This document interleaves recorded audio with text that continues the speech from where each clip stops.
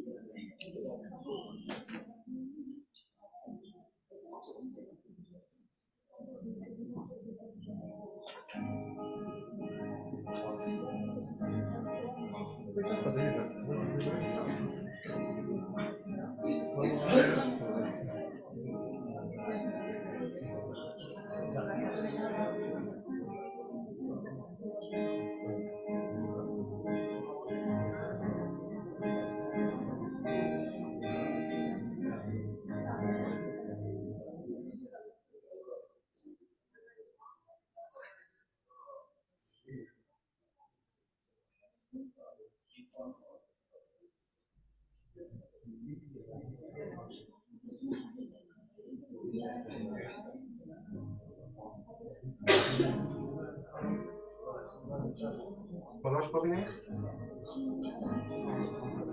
Vreți să în curte la biserică sau să vin înapoi? Ați plecat? Da, da.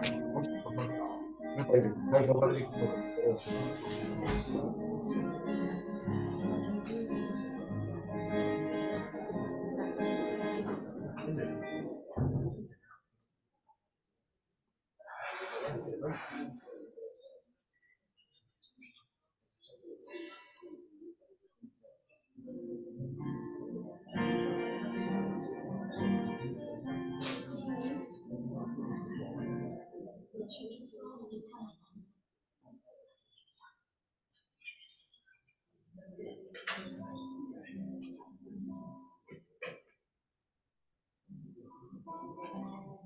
că vă zic. Face dragi frați și surori, slăvim pe Domnul pentru această zi de har.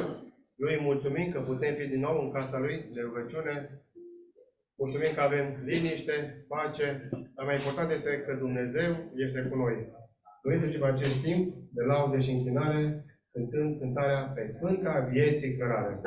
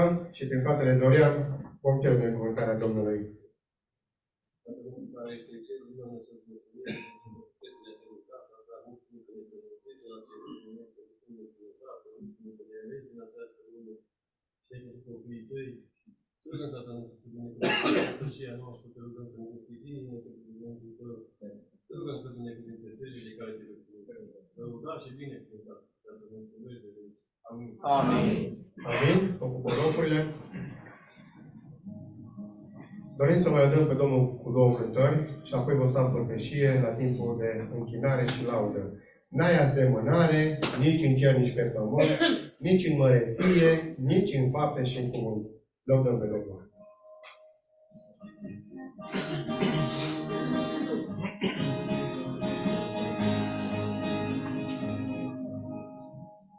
N-ai asemănare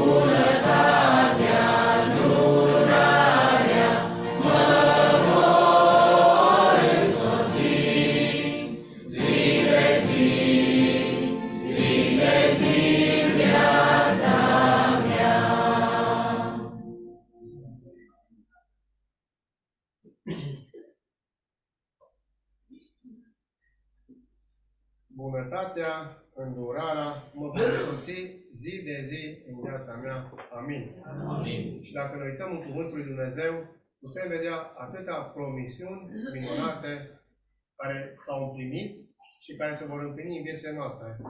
Și mă gândesc că dacă noi ne-am uitat în viețile noastre, la cât de mult a făcut Domnul pentru noi până acum, cu siguranță am putea spune, lăudat să fie Domnul pentru tot ceea ce a împlinit și va împlini în continuare. Amin. Amin. În timpul care stă înainte, noi să spunem cu Dumnezeu la Psalmul 100.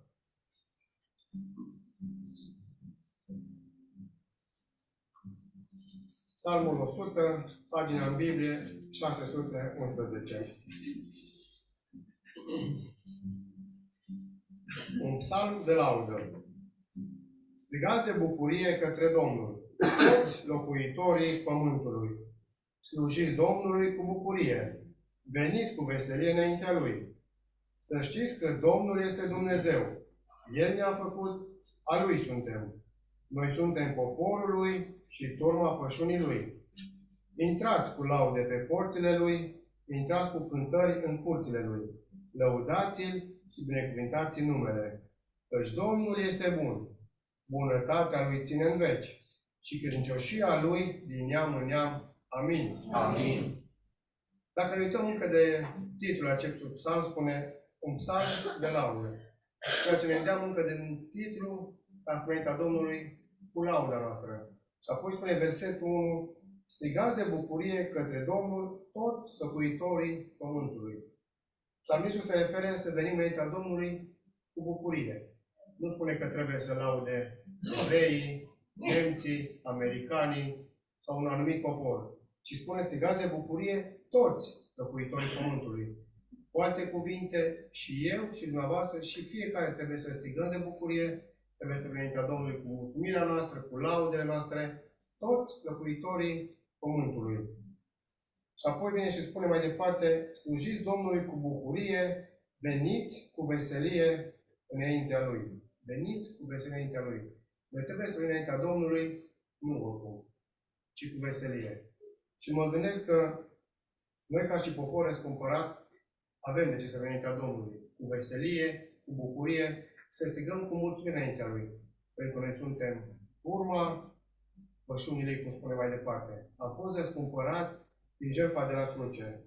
Și este adevărat că trăim vremuri deosebit de dificile. Ne uităm în jur, vedem pandemii care au fost, războaie, cu tremure și tot felul de alte lucruri grozave. Dar am putea spune tot asemenea că suntem generația care va veni Domnul să le acasă. De ce spun că este generația? Pentru că nu mai este mult. Și Domnul stă să vină. Toate aceste lucruri arată că Domnul va veni să ne ia pe noi cerului. Dacă ne uităm înaintea noastră, cum ar trebui să fim noi? Oare trebuie să ne uităm la îngrijorări, la probleme, la necazuri, la multe acestea care ne stă în față? Sau ar trebui să privim înaintea Domnului cu bucurie, cu veselie? Domnul este de partea noastră. Dacă Domnul este de partea noastră, cine poate sta împotriva noastră, spune cu Dumnezeu? În această dimineață suntem îndemnați să strigăm de bucurie înaintea Domnului. Nu oricum, ci să venim cu veselie. Și apoi spune că Domnul este Dumnezeu, El ne-a făcut, ai Lui suntem. Noi suntem poporul Lui și turma pășunii Lui. Noi tot am fost creați într-un chip atât de minunat, după chipul și asemănarea Lui Dumnezeu. Domnul este Dumnezeu și El ne-a făcut. Dar apoi când ne-a creat și ne-a făcut, din Adam și Eva a intrat păcatul în lume și am devenit păcătoși. Și pe lângă acest lucru minunat, sau groaznic, minunat, mă scuzați, este că Domnul Iisus Hristos a venit pe acest pământ și ne-a răscumpărat. Și acesta este acel lucru minunat. El ne-a răscumpărat și ne-a făcut poporului și turma pășunii Lui. Domnul este păstorul meu, spune Psalmul 23. Și apoi mă gândesc că Domnul este păstorul meu. Nu este păstorul unui singur popor, unui singur, ci al meu personal. Dacă Domnul este păstorul meu personal, de ce să mai închid? De ce să mai mă îngrijorați? De ce să mă uit cu îngrijorare peste ceea ce este înainte, peste furtuni, peste necazuri, peste orice ar veni? Când Domnul este de partea mea, cine ar putea să stea împotrivă? Veniți cu veselie. Noi suntem poporul lui și turma pășunii lui. Domnul Iisus Hristos spune că a lăsat 99 de oi și a venit cu una singură. Și acea singură sunt și eu și dumneavoastră. Și aceia care a crezut în jertfa de la cruce. Atât de mult ne-a iubit Dumnezeu, a dat pe singur să fiu. Ca oricine să nu piară, ci să aibă o viață veșnică, dacă crede în El. Și apoi mai departe spune, intrați cu laude pe porțile Lui, intrați cu cântări în curțile Lui, lăutați-L și binecuvântați numele. De ce să intrăm cu laude? De ce să cântăm cântări de mulțumire? Spune versetul 5. Și în versetul 5 am putea vedea trei motive de mulțumire. Căci Domnul este bun. Oare nu este bun Domnul? Oare nu vedem de bunătatea Lui în fiecare zi în viețile noastre? Oare nu vedem cum El este cu noi în fiecare secundă, la fiecare pas? Dacă uităm în fiecare de unde ne-a scos, am putea spune că nu este bun Domnul? Dacă am putea vedea cum ne-a povățuit până acum, am putea spune că nu este bun Domnul? Căci Domnul este bun. Și cu toți am experimentat acest lucru, că Domnul este bun. Și apoi al doilea motiv spune, bunătatea Lui ține în veci. Nu doar că Domnul este bun, ci bunătatea Lui ține în veci. Dacă ne-am gândit la un singur lucru, la un singur act care Dumnezeu a făcut pentru noi, a dat pe singur să fiu să moară pentru noi, a fi fost de ajuns ca să putem să mulțumim în fiecare zi din viața noastră. Ne-a răscumpărat, ne-a rezolvat problema păcatelor. Dar Dumnezeu, Domnul Iisus Hristos face mai mult decât atâta. Spune că bunătatea Lui ține în veci. Stați-mi voi să citesc și din Plângerea lui Ieremia, două versete, capitolul 3, versetul 22 și 23. Plângerea lui Ieremia, capitolul 3, versetul 20 și 23 spune Bunătățile Domnului nu s-au sfârșit. Îndurările Lui nu sună capăt, ci se înnoiesc în fiecare dimineață și credincioșia ta este atât de mare. Bunătățile Domnului nu s-au sfârșit, ci se înnoiesc în fiecare dimineață. Și această dimineață Dumnezeu și-a noi bunătatea față de noi. Suntem în casa Lui, suntem în pace, venim cu veselie, cu mulțumire, strigăm înaintea Domnului. Dar nu este datorită nouă, ci datorită bunătății Dumnezeu care se nuiește față de noi bunătăților. Faptul că ne-am trezit la o nouă zi, faptul că simțile noastre s-au trezit din nou, am putut gusta ceaiul, cafeaua, am putut vedea această zi minunată de toamnă, iarnă, este doar datorită că Domnul este bun și bunătatea Lui ține în veci. Și apoi spune, și credincioșia Lui din neam în neam. Și credincioșia Lui din neam în neam. Dumnezeu este un Dumnezeu statornic. El ceea ce a promis, duce la bun sfârșit. Dacă în Vechiul Testament a promis ceva, este același și El, și azi, și în veci. Amin. Amin. Dumnezeu nu este credincios. Să mulțumim pentru acest lucru, pentru că El ne-a dat atâtea promisiuni minunate. Și ne-a promis o casă. Nu aici pe pământ, ci sus în cerul, lângă Dumnezeu. Spunea cineva că timpul este foarte important. Dar mai important este ceea ce facem cu timpul nostru. Cum îl facem în fiecare zi, cum îl trăim. În această dimineață suntem la un timp de mulțumire și laudă. Ce facem noi cu acest timp? Noi ca și copii ne-ați cumpărat. Noi care am simțit bunătatea Domnului și am văzut că Domnul este bun. Am văzut că Domnul ne-a scos din măcea păcatului. Și Domnul este păstorul nostru. Nu se cuvine în această dimineață venim cu mulțumirea noastră, cu lauda noastră. Noi toți fiecare, spre Dumnezeu, toți locuitorii pământului să vină să laude pe Dumnezeu. Și este adevărat că trecem prin diferite încercări, necazuri, prigoniri, dar nu uitați că Domnul este de partea noastră. Dacă Domnul este de partea noastră, am ca, suntem ca și biruitori. Dacă Domnul este de partea noastră, cine poate sta împotriva noastră? În această dimineață suntem îndemnați înaintea Domnului cu mulțumire, cu laudă, cu recunoștință. Și dacă ne uităm în viața noastră, și în această dimineață numai, am putea vedea atâtea motive de mulțumire pentru care avem. Se cuvine și trebuie să mulțumim Domnului. De aceea ne ridicăm în picioare și înaintea Domnului cu mulțumire, mai întâi partea fraților și apoi partea surorilor. Tatăl nostru care ești în cer, mulțumim că și în această dimineață Tu ne-ai îngăduit toți în viața noastră, îți mulțumim că am putut veni în casa Ta, îți mulțumim că putem auzi cuvântul Tău și îți mulțumim pentru biserica de aici din Tălmaciu, că putem veni la adunare, mulțumim că Tu ai dat pe singurul Tău Fiu să moară pe cruce pentru păcatele noastre, să putem ajunge sus la Tine în locul care ne-ai văzut. Amin. Amin. Trebuie să venim la Tată și venim cu mulțumire, cu recunoștință înaintea Ta. Mulțumim în primul rând pe Domnul Iisus Hristos pentru jertfa de la cruce pe care ne-a răscumpărat. Apoi, Doamne, te mulțumim că Tu încă continui să binecuvântezi în fiecare zi cu atâtea de multe binecuvântări. În mod special îți mulțumim pentru binecuvântările care sunt din punct de vedere spiritual. Mulțumim, Doamne, Tată, pentru cuvântul Tău, mulțumim pentru că Tu ne-ai promis un loc sus în ceruri și vrem ca în fiecare zi să aducem laudă și cinste pentru că doar Tu meriți. Și te servim în această dimineață în numele Domnului Iisus Hristos. Amin. Amin. Dacă nu că avem primit în poate asta, dimineața pentru că ne-ai pus Dumnezeu pentru că ne căuți și până casa de rugăciune. Mulțumim că tu ne promis pe focul meu și le mulțumim în continuare. Și mulțumim că tu ceea ce ne-ai promis tu duce la în sfârșit. Amin.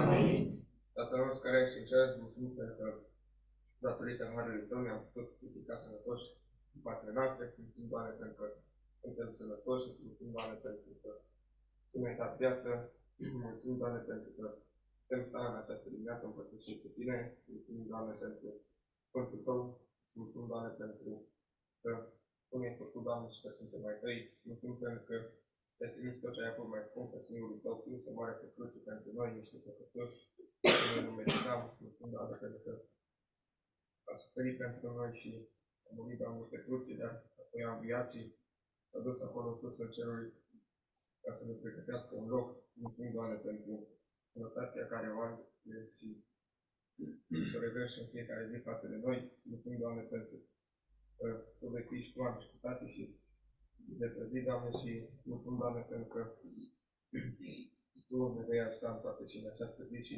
și în săptămâna care vom intra. Amin. Amin. Să cuvine, Tată Ceresc, să te lăudăm în dimineața aceasta și să-ți mulțumim frumos pentru că am văzut bunătatea Ta și în săptămâna aceasta care a trecut. Mulțumim, Doamne, că Tu ai fost bun cu noi în fiecare zi. Apoi, Doamne, am văzut și credincioșia Ta în această săptămână, Doamne. Și am văzut cum ne-ai purtat pe brațe de biruință, Doamne. Am văzut cum ne-ai protejat și ne-ai păzit sufletele, și ne-ai protejat și ne-ai păzit trupurile. De aceea, în dimineața aceasta, noi te lăudăm și îți mulțumim frumos. Amin. Amin.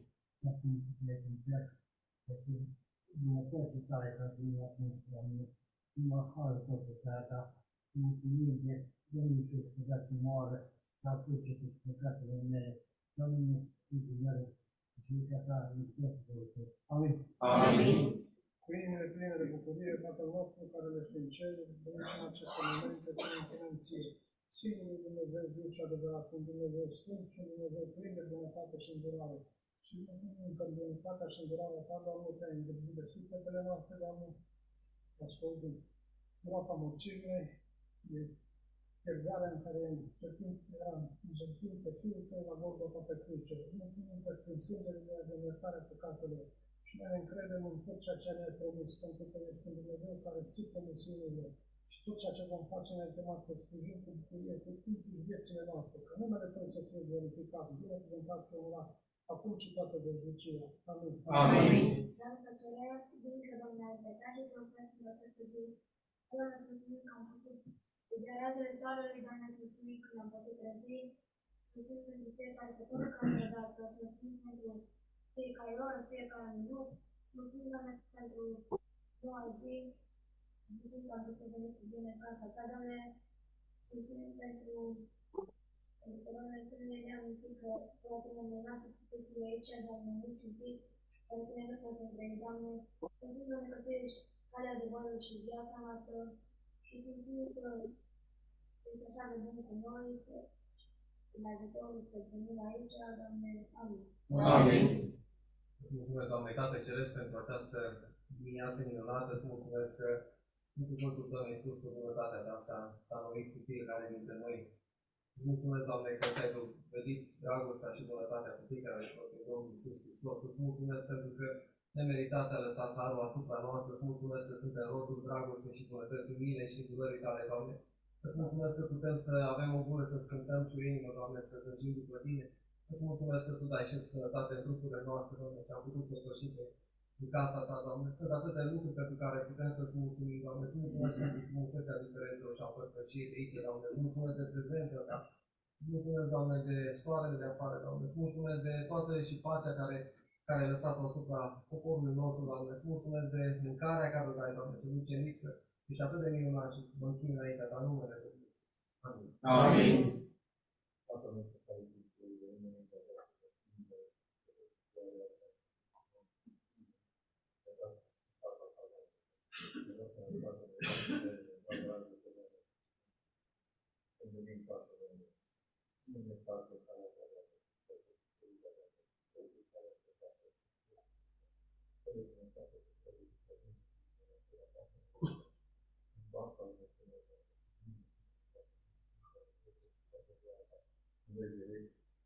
Amin. Tatăl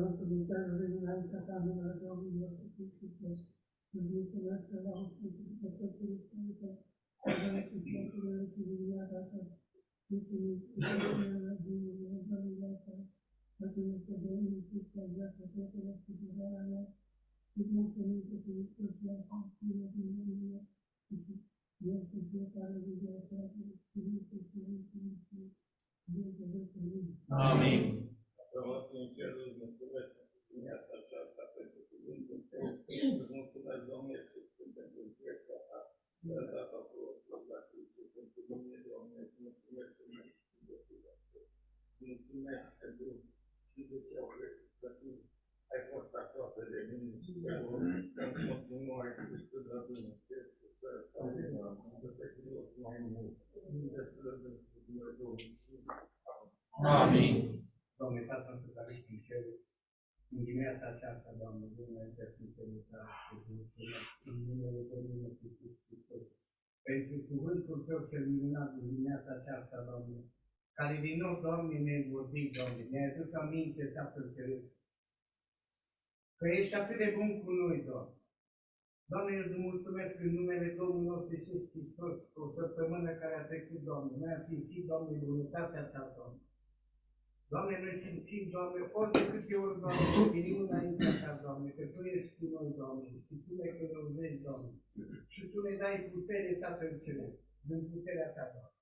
Să trecem peste toate problemele care le avem. Eu îți mulțumesc și te slăvesc în numele Domnului nostru Iisus Hristos. Amin. Amin. Tatăl nostru care ești în ceruri, Dumnezeu, să casă de Iisus, să mulțumesc pentru bunătatea ta, pentru dragostea ta, mulțumim pentru cuvântul tău, mulțumim pentru iubirea Dumnezeu, mulțumim că ne-ai iubit și ne- ne-ai salvat de la pirire, mulțumim frumos pentru voi care l-a pus în frunte. Mulțumim de nădejdea ale Dumnezeu, da și bine cu Dumnezeu. În numele Lui Iisus Hristos. Amin. Amin.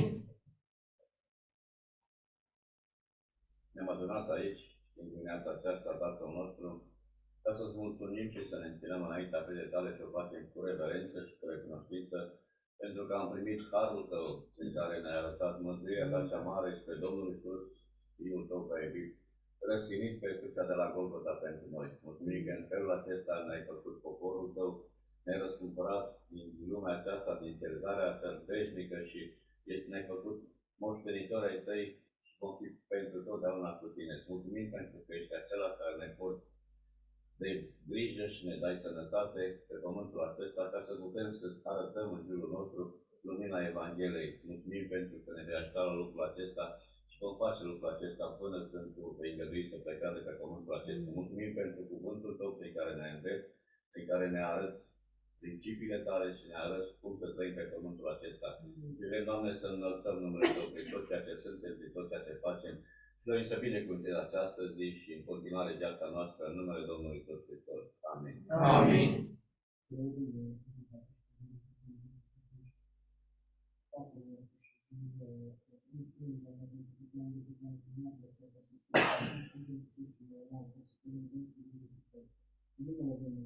Amin. Amin.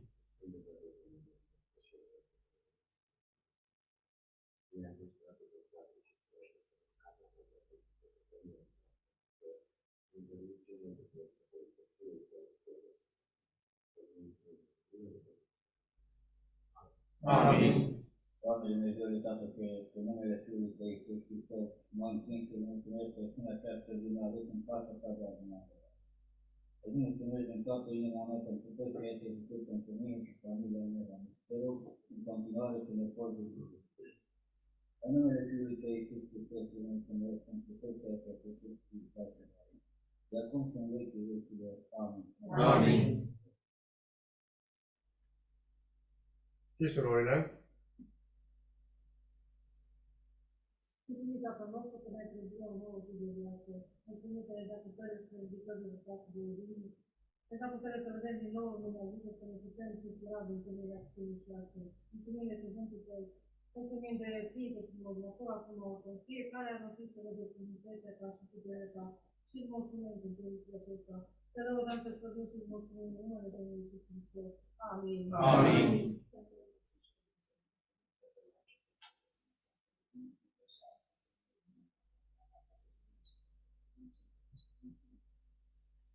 Amin.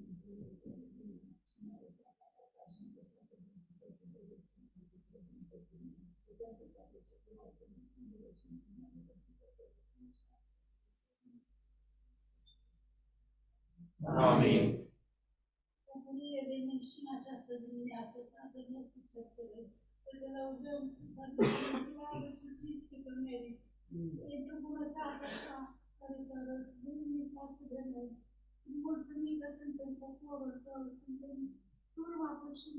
ești păstorul nostru care ne păstorești zi de zi și ne păstorează tale.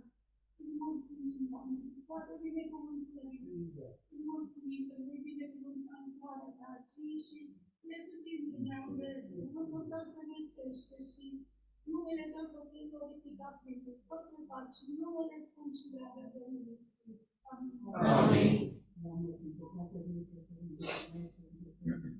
pentru toate păcatele noastre de mâința de mine, vreme toate necatele și viața de viață. Doamne, pentru aceasta că ai vorbit în timp să trăim cu Sfântul Mamă Mântuită. Ca singurele lui Dumnezeu, pe Dumnezeu, mulțumim, Doamne, pentru Dumnezeu, Doamne, pentru Dumnezeu. Te lăudăm pe Sfântul Doamne, că te cântăm, asemenea lângă noi, permanent lângă noi, mulțumim. Te lăudăm pe Sfântul pentru aceasta. Amin. Amin.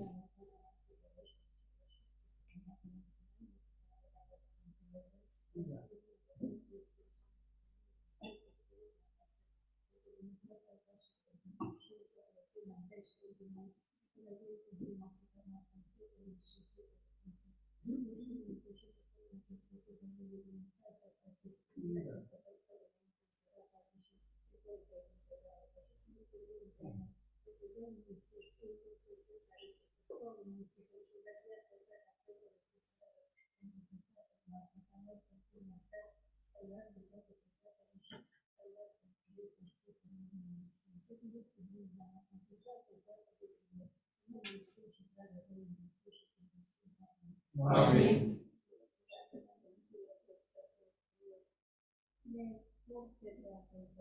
Ne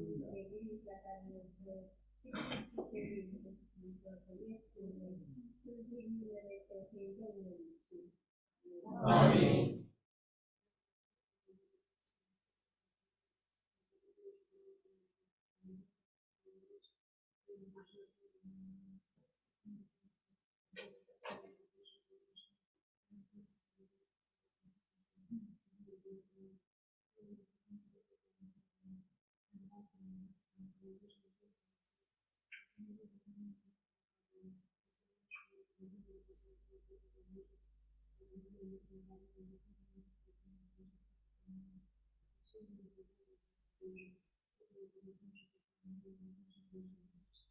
Amin.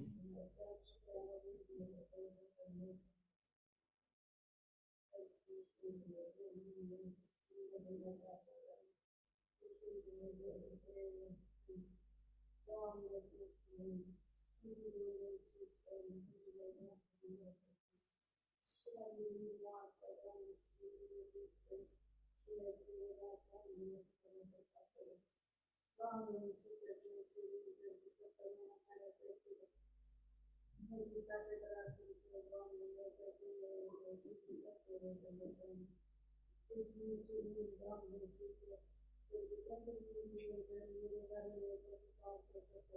toată Amin.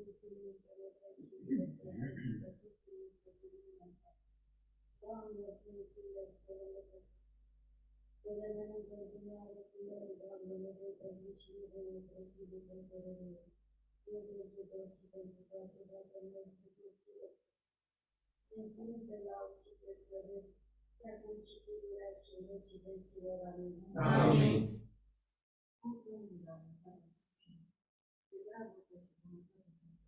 Tatăl meu,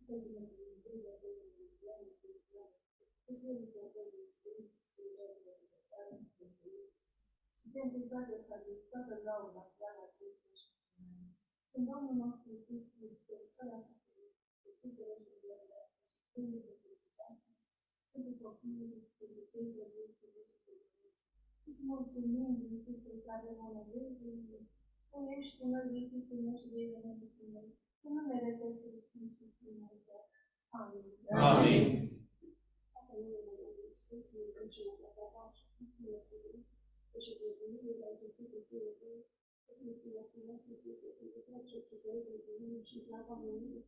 Îți mulțumesc că asta a făcut de răbdarea care a avut cu noi și să fim această zi.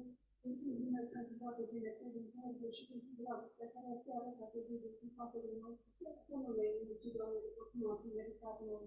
Te slăvesc și îți mulțumesc pentru toate. Amin. Amin. Te lăudăm și te binecuvântăm, Tată Bun din cer, de acest timp minunat care putem să stăm înaintea Ta. Îți mulțumim mult de tot de cuvântul Tău minunat și plin de putere, care și în aceasta ne-a vorbit inimile noastre. Îți mulțumim că avem un Tată plin de bunătate, plin de dragoste, plin de milă, plin de îndurare. Îți mulțumim că prin bunătatea Ta și prin dragostea Ta ai dat pe Domnul nostru Iisus Hristos la cruce ca noi să avem viață, să fim salvați, mântuiți și iertați. Îți mulțumim de nădejdea care ai pus-o în noi și îți mulțumim că vei rămâne cu noi până când tu vei veni să ne iei la tine acasă. Fii binecuvântat că ne-a spus, pentru că te rugăm în numele Domnului nostru Iisus Hristos și prin Duhul Sfânt. Amin. Amin. Te lăudăm, Părinte Ceresc, și îți mulțumim din toată inima pentru dragostea măreață care a făcut pentru noi, Doamne. Îți mulțumim că te-ai viețuit pentru noi. Îți mulțumim că ești Tatăl nostru, îți mulțumim pentru planul măreț să ne avut cu față de noi, Doamne.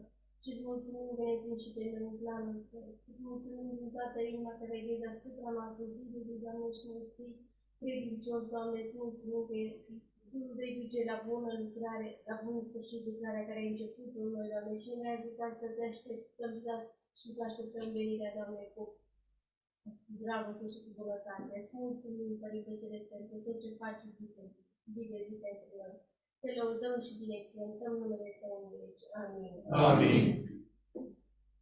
Binecuvântat să fii Tatăl meu din ceruri, că prin bunătatea ta, prin iubirea ta, azi noi suntem în viață, putem să stăm la picioarele tale, să-ți mulțumim și te slăvim pentru tot ce ai făcut pentru noi.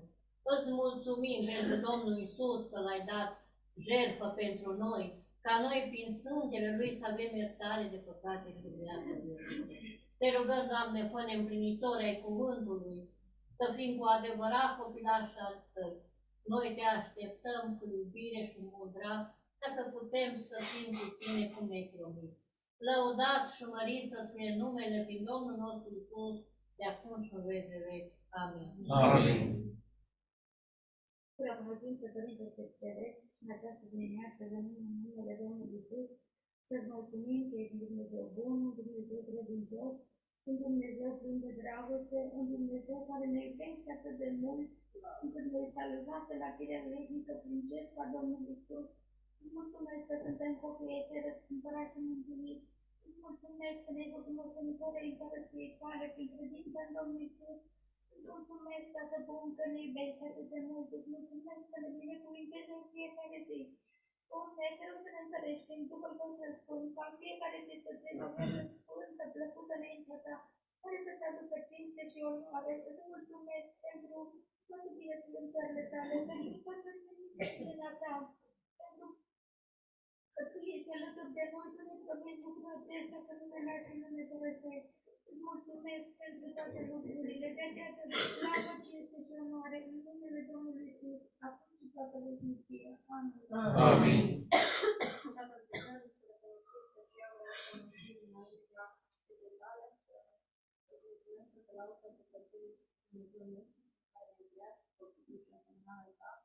Îți mulțumesc pentru harul de a fi copii ai tăi, pentru împărat, cu jertfa Domnului Iisus. Îți mulțumesc pentru bunătatea ta pe care o vedem în fiecare zi, Doamne, o puțin, că Tu ești alături de noi în fiecare zi, așa cum ești promis. Mulțumim că ești credincios, mulțumim că ești niciodată. Și știm, Doamne, că tot ce ai promis ne duce la bun sfârșit. De aceea îți mulțumim că ești în noi și ești păstorul nostru în orice situație. Ne rugăm și pe te amărim și te slavă pentru toate lucrurile pentru că meriți. În numele Domnului Iisus, Amin. Amin. Dacă cerem, nu e nevoie să ne gândim mult ca să vedem multe motive pentru care putem să-ți mulțumim în dimineața aceasta. Sau și unul dintre ele este bunătatea ta, pe care ți-a arătat-o în primul rând la calvar, când ai trimis pe Domnul Iisus să ia asupra păcatele noastre. Doamne, îți mulțumim așa de mult că ai ridicat vizele de curat dintre noi, dintre tine, Doamne, datorită ce este iubit. Și prin el ai dărâmat vindecat să ne-a despărțire între noi și tine. Doamne, te lăudăm Plus, pentru că sănătatea ta și a venit foarte de mult, Doamne. Îți mulțumesc că și astăzi ne așteaptă o măsură mare din bunătatea ta, Doamne. Îți mulțumesc pentru toate promisiunile care se primesc în restul nostru, Doamne, pentru toate promisiunile pe care le faci le-ai primit și pentru toate în continuare. Îți mulțumesc din toată inima pentru puterea de grijă față de noi, față de civitatea noastră, Doamne. Și îți mulțumesc pentru că Tu ai spus că cei ce noi sunt mai tari decât de acolo 5 de devasal enviada a nosotros de. En número de Domnul Iisus te rugăm că meriți. Amin. Amin.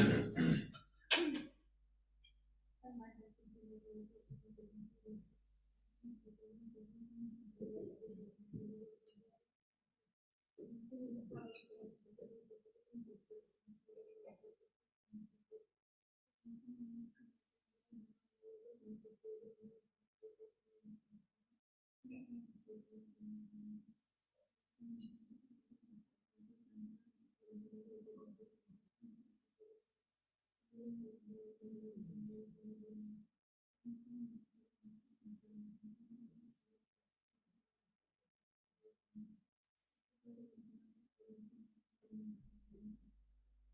Amin.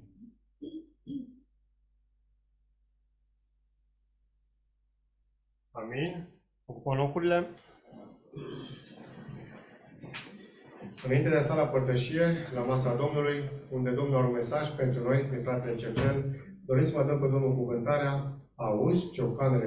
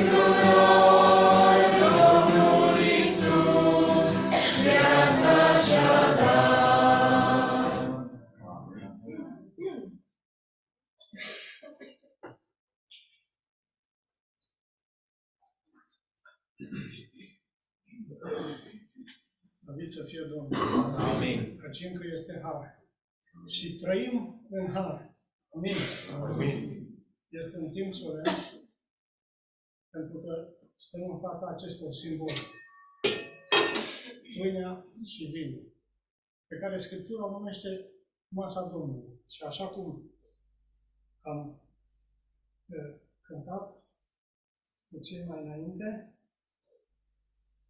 Pentru noi, Domnul Iisus viața și-a dat.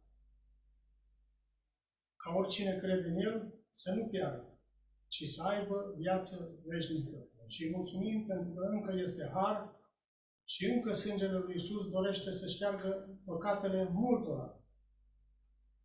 Pentru timpul care ne stă în față, vreau să citesc prima dată un singur din capitolul Vă mulțumesc foarte mult.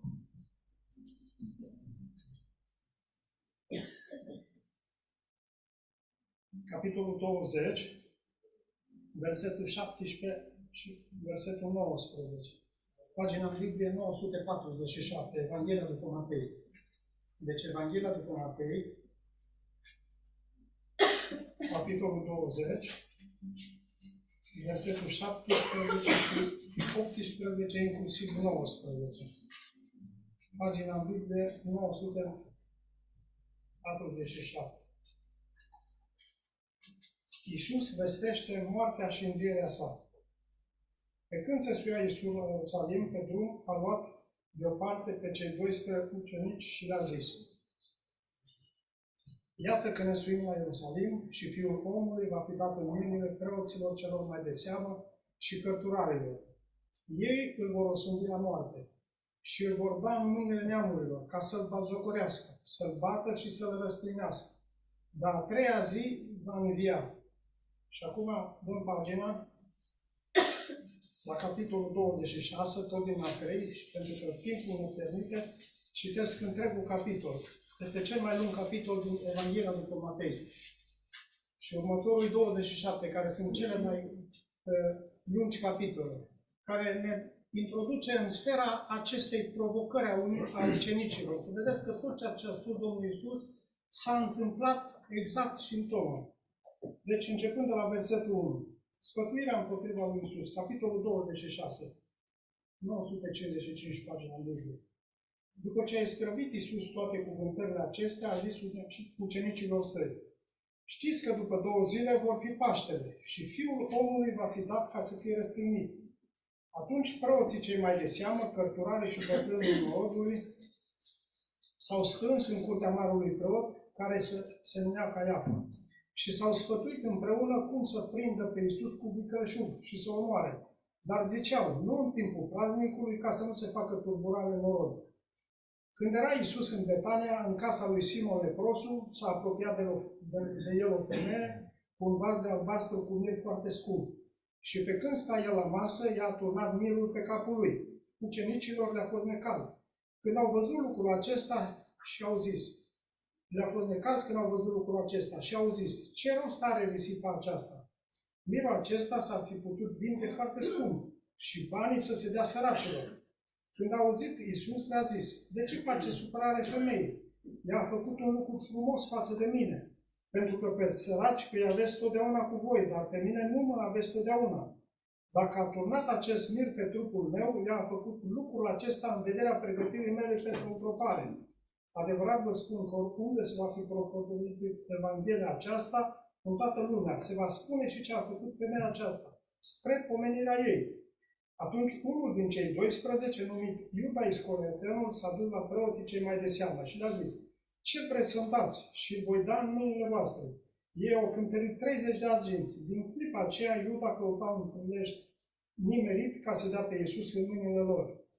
În ziua din tâia praznicul azimilor, ucenicii au venit la Iisus și au zis, unde vreți să-ți pregătim să mănânci Paștele? El a zis, duceți-vă în cetate la cutare om și spuneți-i, învățătorul zice, vremea mea este aproape, voi face Paștele cu ucenicii mei în casa ta. Ucenicii au făcut cum le poruncise Iisus și au pregătit Paștele. Seara, Iisus a șezut la masă cu cei 12 ucenici ai săi. Pe când mâncau, el a zis, adevărat vă spun că unul din voi mă va vinde. Ei s-au întristrat foarte mult și au început să zică unul după altul. Nu cumva sunt eu, Doamne? Drept răspuns, el a zis, cel ce a întins cu mine mâna în brid, acela mă va vinde. Negreșit, fiul omului se duce după cum este scris despre el. Dar vai de omul acela prin care este vândut fiul omului. Mai bine ar fi fost pentru el să nu se fi născut. Iuda, vânzătorul, a luat cuvântul și a zis, nu cumva sunt eu învățătorule? Da, i-a răspuns Iisus, tu ești.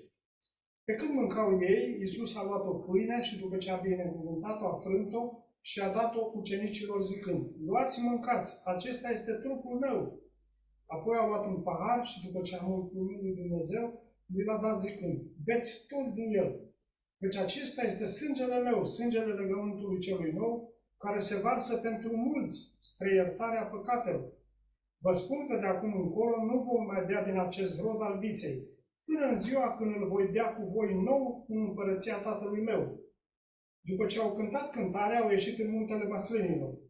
Atunci Iisus le-a zis, în noaptea aceasta toți veți găsi în mine o pricină de potignire, căci este scris, voi bate păstorul și orile turmei vor fi risipite. Dar după ce voi învia, voi merge înaintea voastră în Galileea.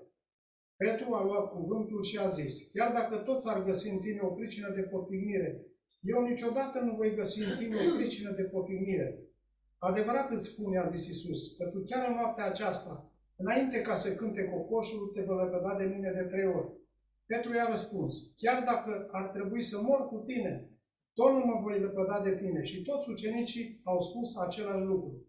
Atunci Isus a venit cu ei într-un loc îngrădit numit Ghesimani și a zis ucenicilor, ședeți aici până mă voi duce colo să mă rog. A luat cu el pe Petru și pe cei doi fii al lui Zebedei și a început să se întristeze și să se gândească foarte tare. Isus le-a zis atunci, sufletul meu este cuprins de o întristare de moarte. Rămâneți aici și vegheați împreună cu mine. Apoi a mers puțin mai înainte, a căzut cu fața la pământ și s-a rugat zicând, Tatăl, dacă este cu putință, depărtează de la mine paharul acesta. Totuși nu cum voiesc eu, ci cum voiești tu. Apoi a venit la ucenici, i-a găsit dormind și a zis lui Petru, ce un ceas n-ați putut să vegheați împreună cu mine? Vegheați și rugați-vă ca să nu cădeți în ispită. Duhul, în adevăr, este plin de râvnă, dar carnea este neputincioasă. S-a depărtat a doua oară și s-a rugat zicând, Tată, dacă nu se poate să se îndepărteze de mine paharul acesta fără să-l deau, facă-se voia ta. S-a întors iară la ucenici și a găsit dormind, pentru că li se îngreuneaseră ochii de somn. I-a lăsat din nou, s-a depărtat și s-a rugat a treia oară zilele aceleași cuvinte. Apoi a venit la ucenici și le-a zis, dormiți de acum și odihniți-vă. Iată că a venit ceasul ca fiul omului să fie dat în mâinile păcătoșilor. Sculați-vă, haide să mergem, iată că se apropie vângătorul. Pe când vorbea el, încă, iată că a venit Iuda, unul din cei 12 cu o gloată mare, cu săbi și cu ciumege. Trimeși pe preoți cei mai de seamă și de bătrânii norodului. Vânzătorul le dăduse semnul acesta. Pe care îl voi săruta eu, acela este, să puneți mâna pe el. Îndată Iuda s-a apropiat de Isus și a zis, plecăciunile învățătorului. Și l-a sărutat. Isus i-a zis, prietene, ce ai venit să faci fă? Atunci oamenii aceia s-au apropiat, au pus mâinile pe Isus și l-au prins. Și unul din cei ce erau cu Isus a întins mâna, a scos sabia, a lovit pe robul marelui preot și a tăiat urechea.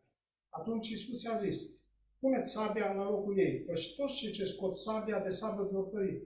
Crezi că n-aș putea să rog pe tatăl meu care mi-ar pune, la, mi-ar pune îndată la îndemână mai mult de 12, 12 legiuni de îngeri?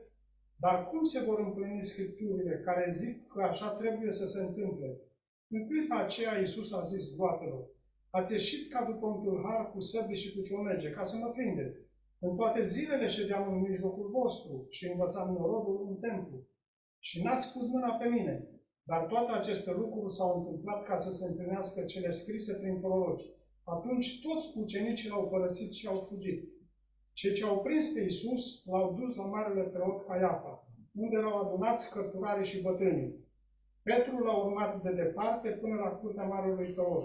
Apoi a intrat înăuntru și a așezut, a așezut jos cu aprozii, ca să vadă sfârșitul. Preoții cel mai de seamă, bătrânii și tot soborul căutau vreo mărturie mincinoasă împotriva lui Isus, ca să-l poată omorâ. Dar n-au găsit niciuna, măcar că s-au înfățișat mulți martori mincinoși. La urmă au venit doi și au spus, acesta a zis, eu pot să stric templul lui Dumnezeu și să-l zidesc iarăși în trei zile. Marele preot s-a sculat în picioare și a zis, nu răspunzi nimic ce mărturisesc aceștia împotriva ta? Iisus tăcea.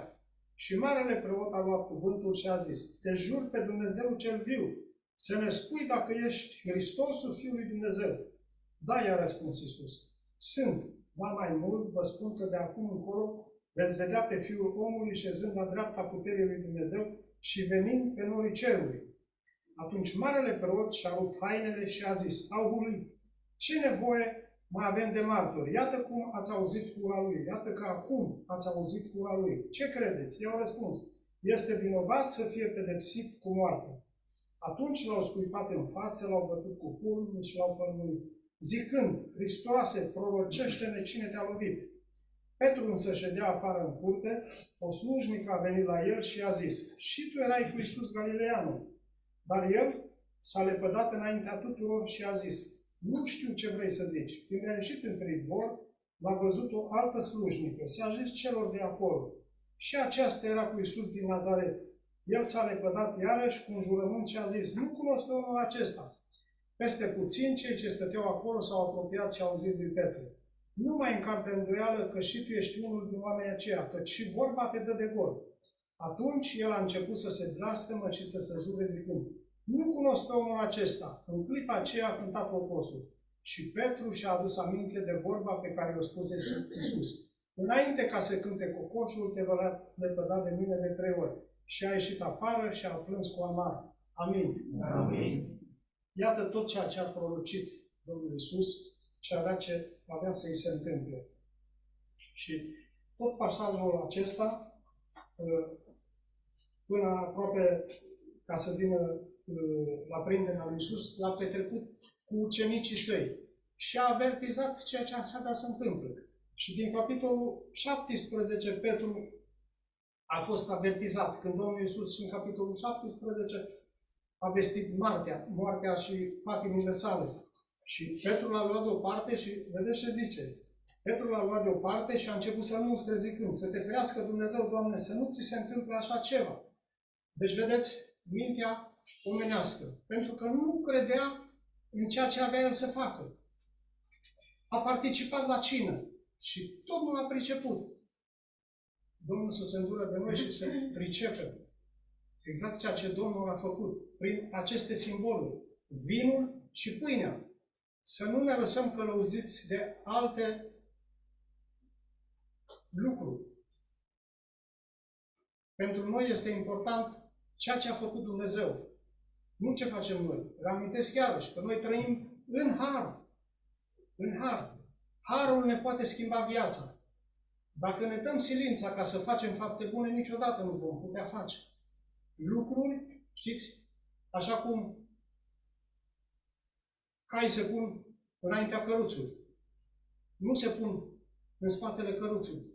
Nu, pentru noi Domnul Isus a venit în lumea noastră ca să-și dea viața ca preț de răscumpărare.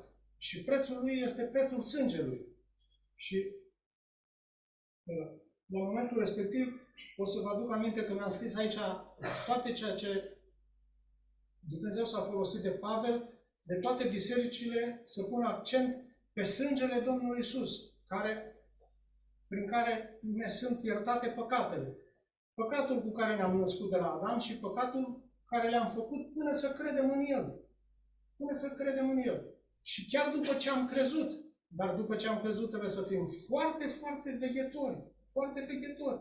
Pentru că satana asta și dorește, ca să înșele. Sunt timpurile din urmă. Timpul care lumea este înșelată. Este înșelată. Oamenii vorbesc de Dumnezeu, vorbesc de Domnul Isus, dar nu cunosc pe Dumnezeu, nu, nu cred în ceea ce a promis El. Nu cred în jertfa de pe cruce. Sunt călăuziți cât și cu alte lucruri. Oamenii pot să fie mântuiți. Lucruri incluzitoare și false, dar Dumnezeu să ne ajute să rămânem la Scriptură. Pentru că Scriptura este valabilă pentru noi. Și Domnul să ne ajute să ne dea putere să spunem și altora, cu blândețe, cu dragoste și Dumnezeu va lucra. Fiecare să ne uităm la viețile noastre, unde am fost. Și poate că în orice împrejurare am auzit despre adevărul lui Dumnezeu și au fost împrejurări în care am respins. Dar slavă Domnului că Dumnezeu ne-a cercetat inima și ne-a întors de pe calea noastră. Prin sângele Domnului Isus am fost răscumpărați. Nu prin altceva. Nu datorită faptelor noastre. De la închinare mi s-a spus că Domnul este bun. Bunătatea Lui. Fiindcă atât de mult a iubit Dumnezeu lumea că a dat pe singurul Său Fiu. Ne-a iubit mai mult pe noi decât pe Fiul Său, pentru că l-a trimis la moarte. Și am văzut uh, acest pasaj în care ucenicii au fost cu El, au văzut tot ce a făcut și nu au crezut. Vedeți? Tocmai de aceea a fost nevoie de promisiunea Domnului Isus care a venit în ziua cinzecimii, Duhul Sfânt. Atunci, e chiar Petru acesta care s-a lepădat, a avut putere să vestească în fața mulțimii, în Ierusalim. Cunoaștem foarte bine capitolul 2 din Faptele Apostolului. Și dacă nu cunoaște, să-l citim. Să-l citim. Pentru că tocmai Dumnezeu de aia ne-a lăsat Scriptura, ne-a lăsat și să facem școală, și slavă de noi, că doar numai pe sura Gărtonă avem analfabetă, dar și dumneavoastră are posibilitate să audă. Să audă și poate că are cei dragi în familie să-i pună să citească Biblia.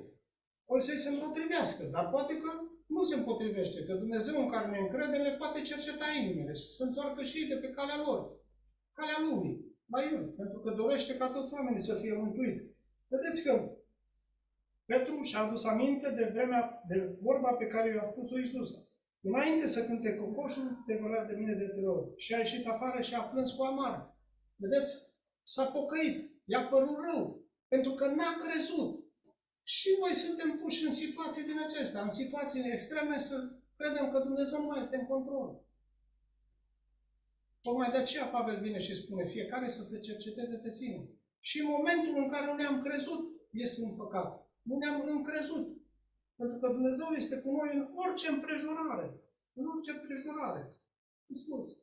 Cu niciun chip nu, nu te voi părăsi, spune. Și Domnul Iisus le promite ucenicilor, voi fi cu voi până la sfârșitul viacurilor. Și El s-a rugat în rugăciunea în Ioan, s-a rugat și pentru noi. Pentru toți cei ce vor crede în mine prin cuvântul lor. Cine sunt aceștia? Noi, pentru că am crezut. Noi trăim prin credință.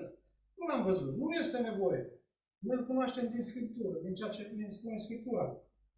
Vis-a-vis de, dacă am citit în capitolul 27, căința și moartea lui Iuda. Și Iuda s-a căit. Dar a rămas doar la căință.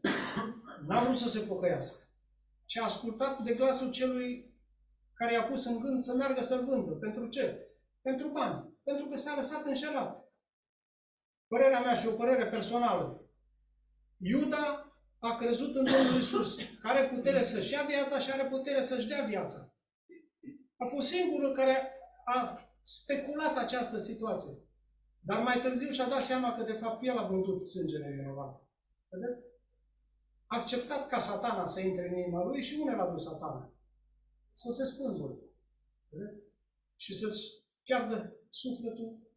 Măcar că Domnul Iisus l-a avertizat pe lucrul acesta.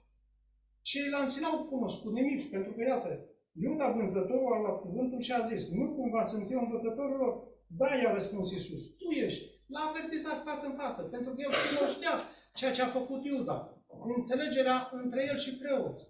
Era Dumnezeu în persoană, a doua persoană din Trinitate. Dumnezeu Tatăl a făcut, a trimis pe Fiul, Fiul a venit să facă lucrarea. Și Duhul Sfânt care ne l-a promis este în noi care ne cercetează în fiecare zi, în fiecare moment. Nu știu dacă ați fost în situație în care să uh, faceți un lucru care știți că îl supără pe Creator și te simți așa amărât, apăsat. Vedeți? Duhul care ne cercetează. Pentru că majoritatea oamenilor, dacă fac lucruri din ăștia, pune și înfundă acest lucru, nu aude de glasul Domnului pentru că nu vrea în alcool, droguri și alte lucruri. Vedeți? Alte lucruri. Dar pentru noi, Duhul lui Dumnezeu ne cercetează. Și Domnul să ne ajute să ne cercetăm și în aceste momente și să ne pocăim, pentru că încă este vreme de lucrul acesta. Și El ne cunoaște inimile fiecăruia. Mie îmi cunoaște inima mea, dumneavoastră personal. Și nu putem să negăm. Nu putem să negăm. Haideți ca uh, să ne uh, axăm pe, în mijlocul acestor evenimente, Domnul Iisus a instituit o cină. Și ne spune că Paștele evreilor, dacă a merge ce însemna pentru ei Paște, era ieșirea din Egipt, care acolo a fost vorba atât de un sângele mielului, ca să ungă ușorii, stânga, dreapta și de sus, ca Îngerul Domnului să cunoască casa evreilor. Credeți că nu cunoștea, dar a dorit să vadă ascultarea. Și toți au ascultat. Și ei și aduceau aminte de scoaterea din Egipt. Și acum Domnul Iisus, în această masă, care este o masă foarte simplă, o pâine și un vin, dar de o însemnătate foarte, foarte mare, neasemui de mare, o însemnătate. Pentru că spune, pe când mâncau ei, Iisus a luat o pâine și după aceea binecuvântat, a frânt-o și a zis, a dat-o ucenicilor zicând, luați, mâncați, acesta este trupul meu. Deci, iată, avem această pâine, care Domnul Iisus o compară cu trupul lui care urma să se frângă pe cruce. În momentul când era pe cruce, el a strigat, Dumnezeul meu, Dumnezeul meu, pentru ce m-ai părăsit? Mânia lui Dumnezeu se revărsa asupra lui datorită păcatelor noastre, că El s-a încărcat cu păcatele noastre, al meu și ale fiecăruia. Și El a făcut comparație între această pâine. Pâinea aceasta se frânge de, când, de la treierat. Spicele sunt lovite în mașina aia care le treiere, după aia vine moara care le sfarmă și acum o pâine, care noi o să o frângem. Vedeți? A făcut. În același timp, putea să spună că a tăiat cuțitul. Nu, a frânt-o. O perioadă în care trupul lui s-a, s-a frânt. Și pentru ce? Pentru noi. Pentru noi.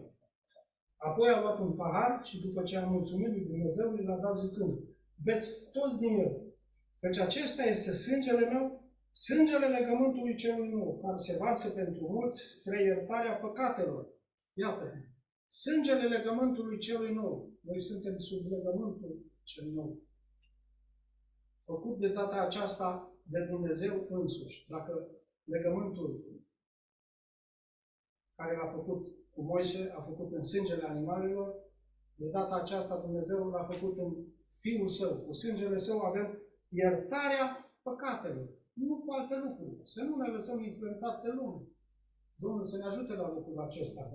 Și iată că acum Domnul Iisus merge mai departe. Vă spun că de acum încolo nu voi mai bea din acest rod al viței până în ziua când îl voi bea cu voi nou în împărăția Tatălui meu. Iată promisiunea. Va fi o zi, într-o zi în care vom sta la masă cu răscumpărătorul nostru. Ce zi minunată! Ce zi minunată! El care a făcut toate lucrurile, să stea la masă cu noi. A acceptat lucrul acesta cu ființe păcătoase. Cu ființe păcătoase. Vedeți? De aceea ne-am notat aici Pavel le aduce aminte prezbiterilor în fapte 20 cu 28, zice să păstorească biserica Domnului pe care a câștigat-o cu însuși sângele său. Noi suntem biserica, nu această clădire. Să nu ne lăsăm înșelați. Se vorbește, mergem la biserică. Dar, de fapt, este o întâlnire cu trupul lui Hristos și trupul lui Hristos are multe mădulare, așa suntem noi. Nu această clădire. După aia, Roman 5 cu 9, suntem socotiți neprigăniți prin sângele Lui. Nu prin ceea ce am făcut noi, prin sângele Lui Hristos. După aia le spune bisericilor din Efes. În el avem răscumpărarea, prin sângele Lui iertarea păcatelor. Vedeți, de atunci lucrurile vreau să fie inversate. Ca oamenii să nu se mai încreadă în sângele Lui Isus. După aia, în Coloseni 1 cu 20, făcând pace prin sângele crucii Lui. Și acum le spune evreilor. Zice, prin sângele Lui Isus avem o intrare slobodă în locul prea sfânt. E vorba doar de sânge, nu este vorba de noi. De ce facem noi? De ceea ce a făcut Domnul Isus. După aia, 1 Petru 1 cu 19 spune, nu cu aur și cu argint ați fost răscumpărați, din felul de viețuire pe care îl moșteniseră de la părinții voștri, și cu sângele scump al lui Hristos. Iarăși, este vorba de sânge. În 1 Ioan 1 cu 7, Ioan sânge, spune, sângele lui Isus Hristos, Fiul lui, ne curățește de orice păcat. Apoi, în Apocalipsa 1 cu 5, când Ioan face uh, urării bisericilor, zice, și din partea lui Isus, a lui care ne iubește și care ne-a spălat de păcatele noastre cu sângele său. Mulțumesc! Iar în Apocalipsa 12 cu 11, un verset de mare importanță, prin care îl putem răzdi pe cel rău, spune așa. El i-au biruit prin sângele mielului și prin cuvântul mărturisirii lor și nu și-au iubit viața chiar până la moarte. Ei l-au biruit. Pe cine? Pe Satan. Satana care în fiecare zi ne părăște înaintea Tatălui, pentru că dacă am, am citit versetul dinainte, versetul 10, ne spune, părâșul fraților voștri care zi de zi ne părăște înaintea Domnului. Ne părăște. Dar ei l-au biruit. Domnul să ne ajute și nou, nou lucrul acesta, să-L biruim prin sângele mielului și prin cuvântul mărturisirilor și nu și-au iubit viața chiar până la moarte. Dacă ne punem nădejdea numai în viața aceasta, suntem cei mai netrebnici oameni. Ne spune cuvântul lui Dumnezeu. Da, Dumnezeu vrea bine să fim fericiți și în viața aceasta. Dar nu suntem scutiți de necazuri. dar noi să ne punem nădejdea în sângele Domnului. Și în orice împrejurare avem acces la El. Să ne întărească și să nu ne pierdem. Să ne pierdem. Pentru că tocmai am fost chemați. Nu și-au iubit viața chiar până la moarte. Vedeți? Da, asta nu înseamnă că nu ne îngrijim de trupul nostru. Nu spălăm, nu ne schimbăm, nu folosim haine curate, să nu înțelegem greșit. Dar dacă ne vom lupta pentru viața noastră, așa cum a fost Petru, a scos sabia și a lovit urechea robului marului preot, nu mai greșesc cu marului preot, robului mare preot. Am fost corectat de familie. Înțelegi? Poți să-ți dai seama, am emoții. Vedeți? Deci a scos sabia și Domnul Iisus îi spune, bagă sabia în teacă, cei ce spune de sabie vor peri. Sunt timpuri în care frați de-ai noștri spunem, punem, punem mâna pe armă să ne apărăm patrie. Și eu întreb, care patrie? Putem ne apăra patria cerească? Nu. Vedeți cum oamenii se lasă înșelat. Cruciadele care au fost făcute, creștinii au prigonit. Lucruri îngrozitoare, lucruri false. Noi suntem chemați să chemăm pe oameni la pocăință. Prin credința în Domnul Isus Hristos. Și El va rezolva toate problemele. El va rezolva toate problemele. Și vedem, putem să-i mulțumim că suntem într-o stare de liniște. Suntem păziți de puterea Lui. Nu prin meritul nostru, nu prin meritul nostru, dar să ne încredem cu adevărat în tot ce a promis El. Și noi să nu avem o religie, și să credem în tot ceea ce a promis Dumnezeu, în tot ceea ce a promis. Și să le spunem și celor dragi ai noștri. Vedeți, oamenii din ziua de azi, primul lucru te întreabă ce religie ai. Și dacă îi spui ceea ce nu-i convine, deja vine împotrivirea. Spunem, noi nu avem o religie. Noi suntem credincioși în Domnul Isus. Și sunt alții călăuziți, fals, că noi suntem cei mai uh, uh, nu găsesc acum cuvântul cum mi l-a spus, cei mai rătăciți. Și când i-am spus lucrul acesta unui călugăr, au spus, păi și voi credeți în Domnul Isus? Vedeți cum îi duce în eroare? Că noi nu credem. Că suntem rătăciți. Și de fapt, săracii, Biblia spune, ei opresc căsătoria, sunt unii și întrebuințarea păcatelor. Se izolează într-un loc, să nu se căsătorească și țin nu știu dacă va mânca lui întreg sau nu. Bunicul meu să, căl- să căl- călătorească, pardon. Și era într-o perioadă de post. Și l-a chemat un călugăr mai bătrân în chilie, ei țineau post și l-a pus la masă și a dat carne. Și a spus, lasă, că o facem doar de fațadă. Vedeți cum se lasă înșelat? Întrebuințarea păcatelor. Nu, că Dumnezeu ne-a lăsat să le luăm cu mulțumiri. Cu mulțumiri. Pentru că tot ce a făcut El este curat. Este curat. Vedeți? Domnul să ne ajute la lucrul acesta. Haideți să ne ridicăm în picioare și să ne mulțumim pentru această pâine, care este o pâine. Este un moment solemn și acest moment o face să fie deosebită. Dar Domnul nostru este în slavă. A suferit pentru noi, a fost răstignit așa cum am cântat. Și acum noi prin această pâine ne aducem aminte de trupul Lui. Tatăl nostru care ești în ceruri, venim și în aceste momente să-ți mulțumim pentru bunătatea Ta, să-ți mulțumim pentru dragostea Ta, să-ți mulțumim pentru bunătatea Ta, Doamne, ne-ai iubit mai mult pe noi decât pe Fiul Tău, Doamne, care le-a dat la moarte, Doamne, Ta.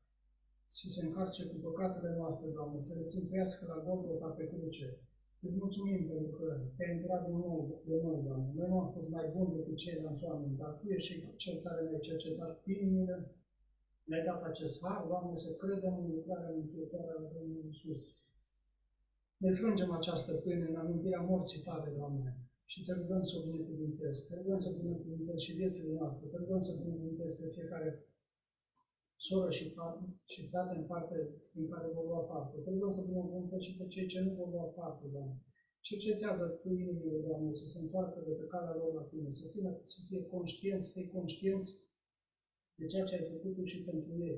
Te rugăm să ne ierți, Doamne, ori de câte ori nu am fost veghetori, fie din nebăgare de seamă, Doamne, te-am întristat. Te rugăm să ne ierți și să ne dai putere, Doamne, să fim mult atenți și veghetori în tot timpul, fie prin vorbire, fie prin orice comportament, ca numele Tău să fie cinstit, glorificat și onorat, acum și toată veșnicia. Amin. Amin.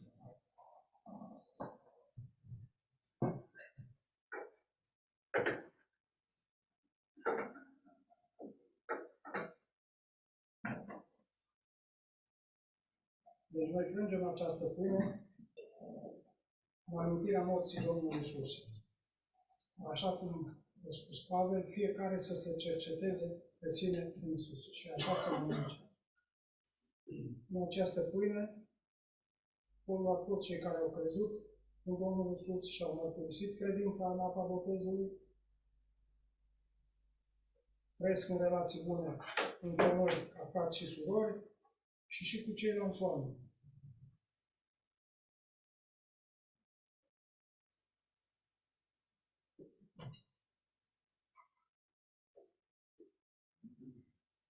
Noi frângem această pâine până la venirea Domnului.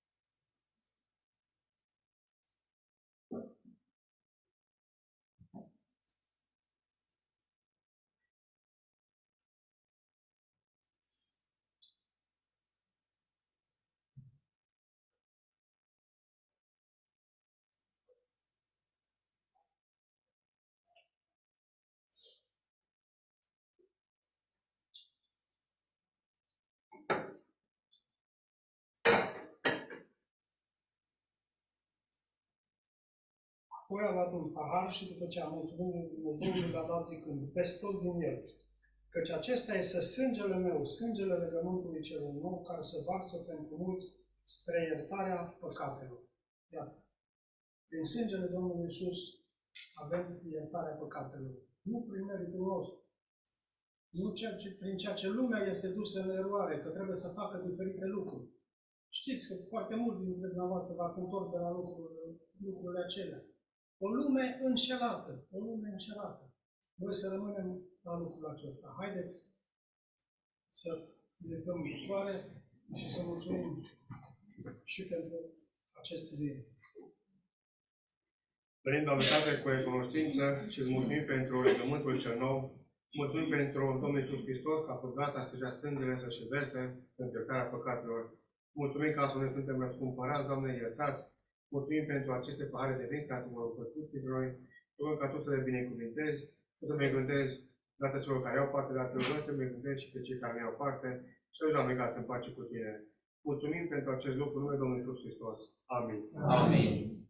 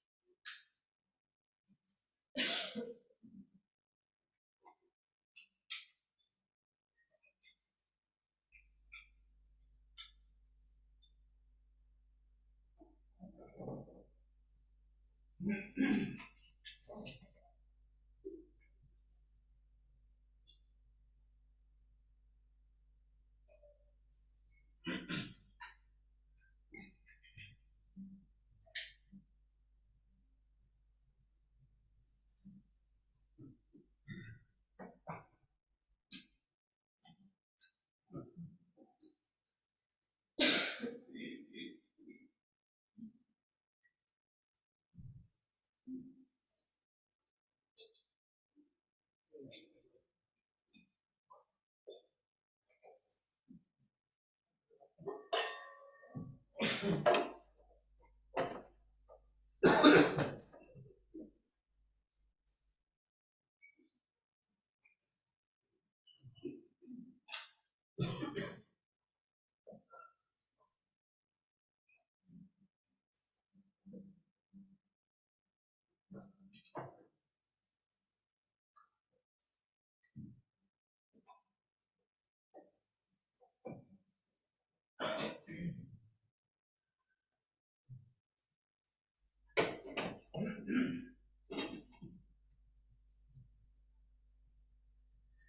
În continuare dorim să mai dăm pe Domnul cuvântare și apoi Domnul are un mesaj pentru noi prin fratele Dani Domitele, ca Domnul să binecuvânteze pe el și numele noastre. Amin.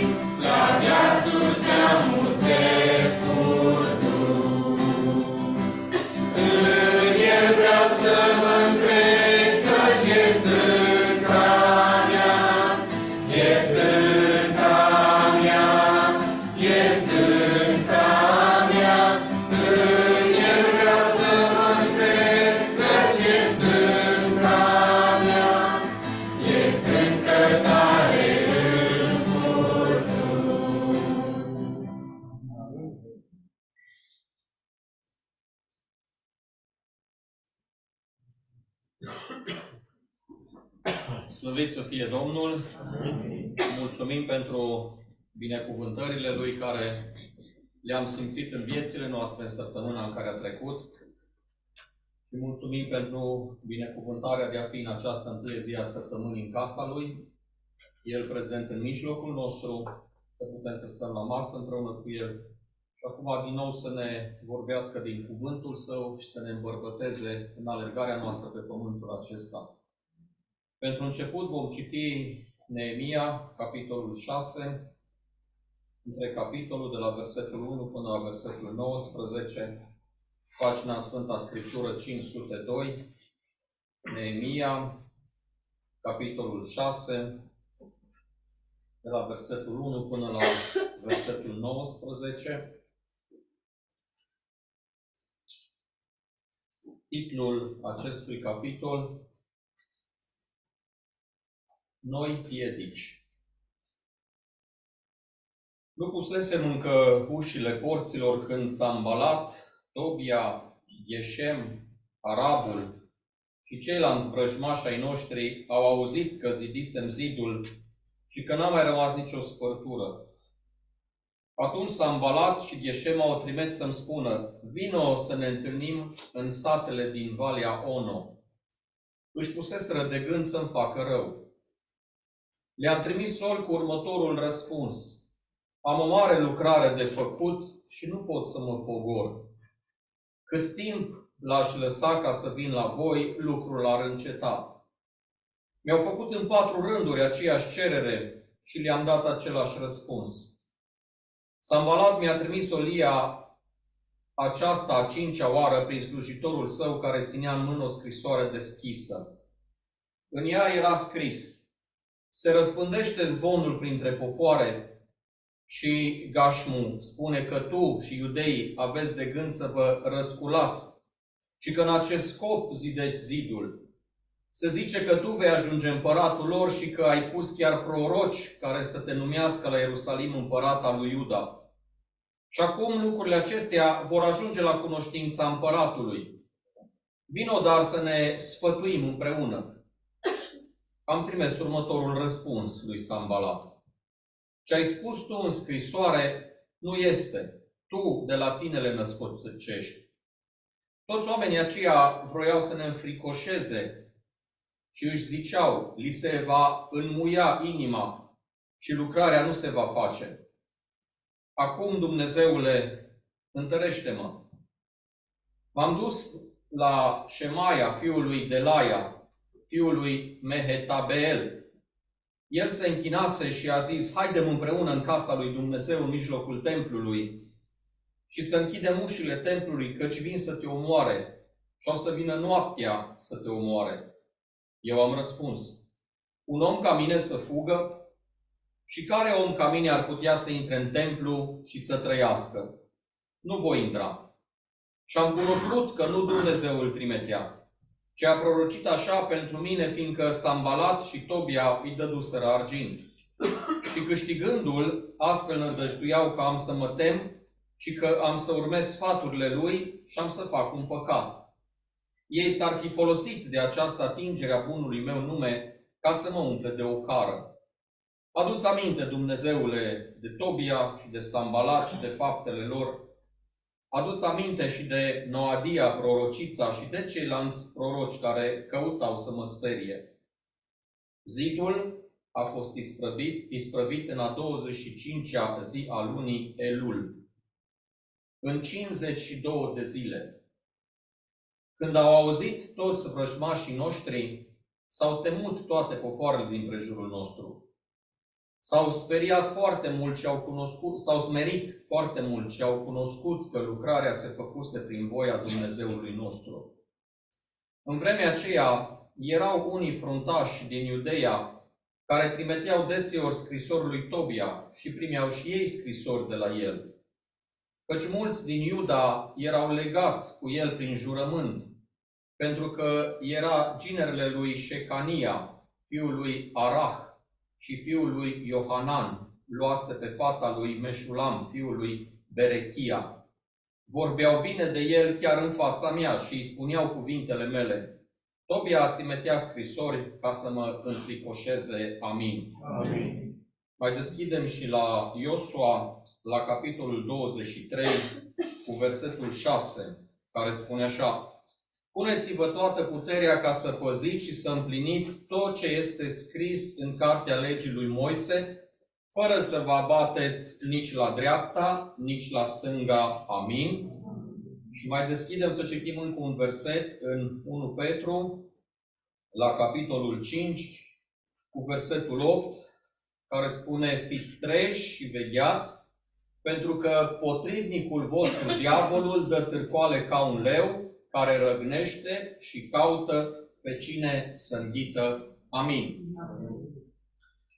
Săptămâna trecută am început să citim cu adunarea cartea aceasta și am văzut faptul că Neemia era un uh, rob care a fost dus departe de casa lui, care acolo așa a îngăduit Dumnezeu ca să aibă funcția aceasta de paharnic al împăratului. Însă am văzut în săptămâna aceasta și ne-am adâncit marți privirile în Cuvântul lui Dumnezeu și am văzut faptul că Neemia, mai mult decât lucrarea pe care o făcea în fiecare zi, avea pe inimă lucrarea Domnului. Și aș vrea ca în dimineața aceasta Dumnezeu să pună și pe inima noastră o dorință așa mare și arzătoare de a face lucrarea lui Dumnezeu, de a-L sluji pe Dumnezeu cu credincioșie. Și în momentul în care Neemia află de faptul că cei care s-au dus să zidească din nou zidurile Ierusalimului au lăsat-o așa pe tânjală, se roagă, postește, plânge, se pocăiește și într-un final merge să zidească zidurile Ierusalimului datorită faptului că i-a dat împăratul o învoire. Mâna cea bună a Dumnezeului nostru, spune el, a fost cu mine și în fața împăratului și pe drumul pe care l-am făcut. Vine se apucă de zidirea zidului și în timp ce se petreceau lucrările de construcție acolo, avem acest capitol 6 pe care îl avem de citit mâine ca și adunare, și acest capitol are titlul acesta Noi piedici. Știți, și noi pe pământul acesta, datorită faptului că l-am acceptat pe Domnul Isus Hristos ca și Domn și Mântuitor al vieții noastre personale, Domnul este Cel care ne dă lucrări de făcut pe acest pământ. Cea mai importantă lucrare pentru noi este mântuirea sufletului. Și pentru aceasta am citit în Petru faptul că trebuie să veghem, să veghem și iară să veghem. Apoi, pe pământul acesta, Dumnezeu ne-a mântuit, însă nu ne-a mântuit să stăm, cum ne spunea fratele, la masa Domnului, izolați undeva, da, într-o chilie, noi cu Domnul și așteptăm să vină Domnul. Și Domnul ne-a lăsat în mijlocul oamenilor, ne-a dat o lucrare de făcut și cu credincioșie trebuie să facem lucrul acesta, la fel cum făcea Neemia. Și vedem din capitolul acesta faptul că satana este cel care se folosește de tot felul de oameni, de tot felul de împrejurări, pentru a pune piedici în calea credinciosului, în alergarea lui către cer. Și care este scopul lui satana? ca să ne abatem privirea de la lucrarea pe care El ne-a dat, ne dat să o facem. În primul rând, mântuirea sufletului, să veghem ca să fim credincioși lui Dumnezeu și apoi lucrările pe care Dumnezeu ni le scoate pe pământul acesta în cale de vestire a Evangheliei celor care sunt păcătoși. Și vedeți că Neemia dă titlul, sau titlul a fost pus acestui text în care spune Noi piedici. Știți ce învățăm de aici? Piedicile nu au fost în viața lui Neemia, nu existau în viața lui Neemia și nu s-au încheiat în viața lui Neemia. Datorită, datorită faptului că spune noi piedici, înseamnă că au mai fost și altele. Datorită faptului că nu spune ultimile piedici, înseamnă că au mai venit și altele în viața lui, chiar dacă nu lucrarea aceasta de zidire a zidului Ierusalimului, pentru că în final spun că zidul a fost zidit. Frați și surori, nu ca și o încurajare, că nu e o încurajare să vă spun că vor veni piedici în calea noastră. Dar sunt lucruri cu care ne confruntăm. Sunt lucruri reale, lucruri pe care nu să le așteptăm, că nu sunt de așteptat. Dar lucruri care să nu ne sperie în momentul în care vin. Vedeți, ne uităm la Neemia și Neemia nu este cel care spune, aoleu, a venit Sambalat. Păi dar nu a venit și săptămâna trecută? Aoleu, a venit Tobia. Păi nu mi-a dus piedici săptămâna trecută? Nu, nu. Și Neemia se aștepta ca lucrurile acestea cel rău să încerce, cum am citit în Petru, pe toate laturile, pe toate colțurile să dea târcoale ca să-l tragă jos de pe cale. Deci, frați și surori, piedici au fost în viața noastră ca și copii al lui Dumnezeu, piedici sunt în fiecare zi în viețile noastre și piedici vor veni. Însă noi, ca și copii al lui Dumnezeu, noi, ca și uh, oameni mântuiți, trebuie să identificăm piedicile acestea și piedicile să nu ne tragă jos de pe cale. Să nu ne trântească la pământ. Și dacă am căzut, să nu stăm acolo să ne plângem de milă, ci să ne ridicăm, să ne pocăim și să mergem mai departe cu Domnul nostru până când vom merge acasă. Aș vrea să ne uităm în textul pe care l-am citit și să vedem modul în care Neemia a fost rezistent în fața piedicilor. Rezistent în fața dușmanului. Pentru că vedem aici mai multe piedici, mai multe curse, mai multe scrisori pe care le-a primit și toate aveau același scop, ne spune textul, ca să abată inima poporului de la lucrare. Ca să-l facă să se teamă și astfel lucrarea să înceteze. Știți ce vrea diavolul să facă cu noi în fiecare zi? Să ne facă să ne temem. Să ne facă să fie frică. Să ne fie frică. Și astfel lucrarea pentru Domnul să înceteze în viața noastră sau în viața adunării noastre. Ne uităm în viața lui Neemia, în textul pe care l-am citit, și în primul rând vedem că în viața lui vin piedici care caută să-i abată privirea de la lucrare. Ne spune în versetele de la început pe care le-am citit în versetul 1 că dușmanii lui, pe care îi știa, Sambalat, Tobia, Geshem, Arabul și mulți alți vrăjmași de-ai noștri, căutau în tot felul de lucruri să abată privirea poporului de la lucrarea pe care trebuia să o facă. Căutau ca să se împrietenească cu ei și de aceea trimite o scrisoare și vedem în versetul 2 că trimite o scrisoare lui Ezechia în care spune vino să ne vedem. Haideți să mergem undeva, să stăm de vorbă. Haideți să mergem să o dăm la pace. Haideți să mergem să stăm împreună să povestim. Vedeți? Satana prin acești vrăjmași vrea să-l facă pe Neemia să meargă să facă un pact cu cei care erau vrăjmașii lui. Știți că și astăzi satana are tactici de genul acesta? Să ne atragă privirea de la lucrarea Domnului și într-un fel sau într-altul să ne împrietenim cu lumea. Pe scopuri bune. Că dacă l-ai fi întrebat pe Sambalat, dacă i-ar fi răspuns Neemia și l-ar fi, l-ar fi întrebat pe Sambalat, Măi, de ce vrei să ne întâlnim? Credeți că el ar fi spus ca să nu continuați lucrarea? Oh, nu! Haideți să discutăm, să vedem cum putem să sprijinim și noi această lucrare, că doar suntem vecinii voștri.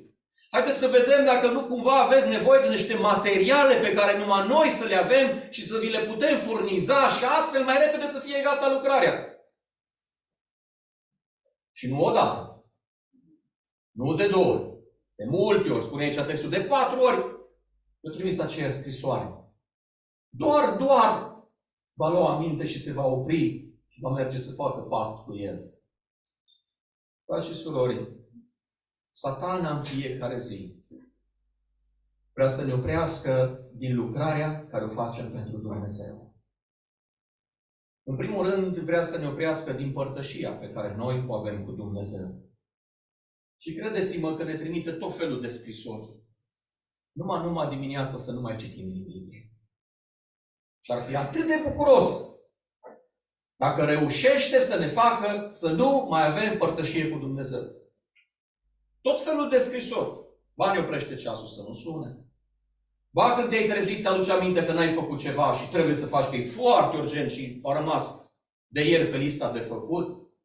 Ba se întâmplă să-ți aduci aminte de ceva care ai de făcut în ziua respectivă și atâta să-ți frămânți mintea cu el și dintr-o dată să vezi că e târziu și trebuie să pleci la lucru și nu mai ai timp să stai în părtășie cu Domnul și tot felul de lucruri ca să ne întrerupă din lucrarea pe care o facem pentru Dumnezeu. Și apoi când îți propui să-L mărturisești pe Domnul, să trăiești pentru El, iar are scrisorile Lui pe care le trimite. Ca să ne atragă ochii de la lucrare. Ca să ne facă, într-un fel sau într-altul, să ne împrietenim cu El. Ce răspunde Neemia? Am o mare lucrare de făcut. Dacă n-ați știut până acum, frați și surori, ați știut, dar dacă n-am conștientizat să știți lucrul acesta, și noi pe pământul acesta, avem o mare lucrare de făcut. Știți ce spune cuvântul lui Dumnezeu în Noul Testament? Ce ar folosi unui om să câștige toată lumea? Nu e asta o lucrare mare? Încă n-am auzit pe cineva să câștige toată lumea, dar ar fi o mare lucrare ca să facă asta. Și mai departe spune, dacă și-ar pierde sufletul. Deci ce constatăm de aici? Pierderea sufletului e o lucrare mult mai mare decât a câștigat toată lumea. Deci noi avem o mare lucrare. Să fim treji, ne spunea în 1 Petru, capitolul 5, să veghem ca nu cumva diavolul să ne tragă jos de pe cale. Și apoi în Iosua am văzut că ne spunea cuvântul Domnului înainte. Nici la dreapta, nici la stânga. Și Iosua este cel care îi răspunde și spune, am o mare lucrare de făcut. Nu pot să vin la ceea ce voi m-ați chemat. Pentru că eu trebuie să stau aici și să-L slujesc pe Dumnezeu. Cât timp aș pleca să mă împrietenesc cu tine, Sambalat, cât timp aș pleca să mă ocup de lucrul ăla sau de celălalt, lucrarea ar înceta. Și nu îmi permit pentru că este o mare lucrare pe care o avem de făcut. Haideți să luăm ca și un sfat. Dacă lucrurile din lumea aceasta, chiar și cele care par bune, ne împiedică din lucrarea lui Dumnezeu. Să răspundem și noi, să trimitem și noi răspunsul acesta. Am o mai mare lucrare de făcut. Să-i rămân credincios lui Dumnezeu. Și să nu ne abatem privirea nici la dreapta, nici la stânga. Apoi, dacă mergem mai departe, în capitolul pe care l-am citit, am văzut piedici care căutau să-i atragă privirea de la lucrare. Apoi vedem că vin în viața lui piedici care vreau să-i strice bunul nume pe care Neemia îl avea în mijlocul poporului Israel și chiar și acolo unde era în robie. Și dacă ne uităm în versetul 6, se schimbă tactica și primește o altă scrisoare care spune că se răspândește zvonul că voi vreți să vă răsculați. De asemenea, se răspândește zvonul Neemia că tu vrei să devii împărat. De asemenea, vedem că ți-ai pus oameni, versetul 7, prin care ei să te proclame pe tine ca și împărat și lucrurile acestea nu se opresc aici, ci se mai zvonește și se va întâmpla că lucrul ăsta va ajunge la urechile împăratului. Împăratul care pe tine te-a lăsat datorită faptului că erai un slujitor credincios, te-a lăsat să pleci, să vii să zidești zidul acesta. Nemia, oare ce se va întâmpla când împăratul va afla lucrul acesta? De ce vrea să facă treaba asta? Ne spune mai departe versetul 9. Vroia să le înfricoșeze inima, credea că li se va tăia inima și nu se va mai face lucrarea lui Dumnezeu. Piedici care vor să strice bunul nume pe care îl avem. Știți că lucrurile nu s-au schimbat astăzi? Ci și astăzi cel rău vine cu astfel de piedici prin care apoi uh, o să-i spunem și vecinului, o să mergem și la evangelizare, o să facem și cu tare și cu tare, dar să nu îi prea bătem la cap. Dar ce gândește despre mine? Dar ce va spune? Dar ce se va întâmpla? Neemia primește o scrisoare prin care este înștiințat că toată lucrarea lui bună pe care a făcut-o pe pământul acesta va fi dusă de râpă. Pentru că se zvonește că va fi așa și va fi așa. Care e răspunsul lui Neemia? Versetul 8. Ce ai spus tu în scrisorile tale nu este adevărat. Vedeți? Când avem o relație corectă și bună cu Dumnezeu. Nu plecăm urechea la orice zvon care se aude. Și încă un lucru foarte important. Nu căutăm noi să ne apărăm onoarea pe care o avem pe pământul acesta. Numele care îl purtăm pe pământul acesta. Știți, Neemia era conștient de faptul că el nu făcea lucrarea lui acolo. Lui a fost mult mai bine ca acest 12 ani de zile cât a venit și cât a lipsit de la Ierusalim, să stea bine mersi acolo, luna trecea, Leafa venea, o ducea bine, avea tot ce-i trebuia. Dar Neemia era conștient că el era în alergarea către cer, nu în alergarea către buzunar. El era în alergare și în lucrarea lui Dumnezeu. Și dacă el a venit la Ierusalim și a văzut cum spune că mâna bună a lui Dumnezeu a fost și pe drum și în lucrarea aceasta pe care a început să o facă. El a știut că numele lui nu poate fi afectat. Pentru că el nu lucra pentru el acolo și nu lucra pentru numele lui acolo, ci lucra pentru slava lui Dumnezeu. Și dacă Dumnezeu ar fi îngăduit ca cineva să se atingă de el, spune că s-ar fi atins de lumina ochilor lui Dumnezeu.